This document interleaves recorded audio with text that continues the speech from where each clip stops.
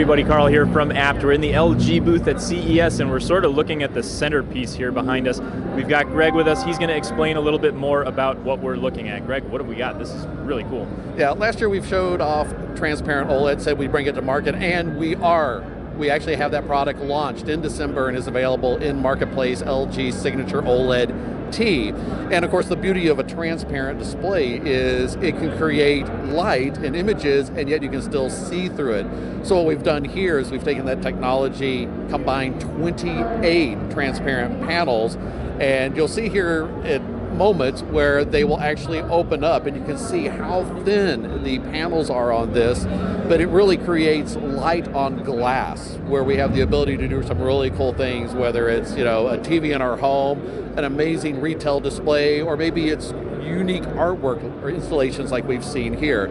So having a transparent display with of course OLED technology makes for some pretty interesting opportunities whether you're an artist, a homeowner, a business owners, think of all the possibilities. Yeah, it is really, I mean, this is stunning. LG always does a great job with their booth at CES, and this is just another display of what you guys are capable of and how far this technology has come along. It's really, it's exciting to see. Yeah, and the fact that it's transparent, if we remember the OLED T, is also wireless be able to carry up to 4K at 120 hertz signal. So if I'm a console gamer, it matches up perfectly with the key console gamer systems that are out there.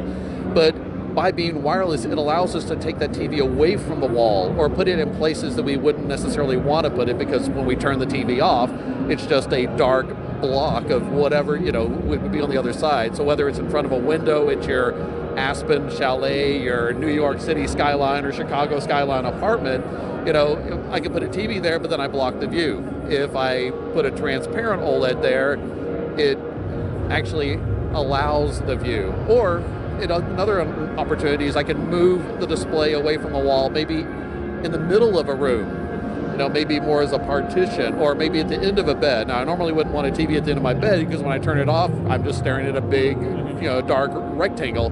But with a transparent OLED, when the TV's off, I can see through it, see the rest of the room. I think it's a little bit less claustrophobic that way.